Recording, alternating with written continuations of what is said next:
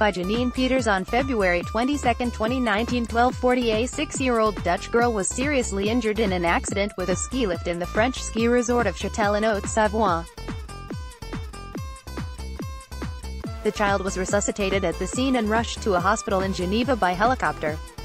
The local police are investigating the incident, Mayor Nicolas Rubin confirmed, The Telegraaf reports. The child was on the way to a ski class, accompanied by an instructor.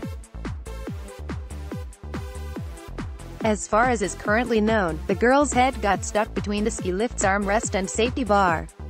The adults on the lift with the child did not notice. Only on arrival, after a 5 or 6 minute ride, did the instructor notice that something was wrong.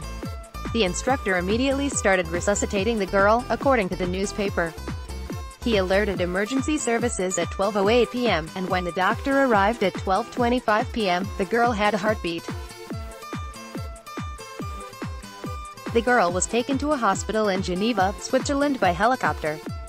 Her parents, who were not present at the time of the accident, were also taken to the hospital.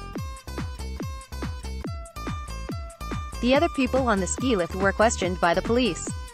We asked the ski lift company to take care of the family, we're accompanying them to Geneva, assisting them and will do everything to support them, Mayor Rubin of Châtel said, according to The Telegraaf.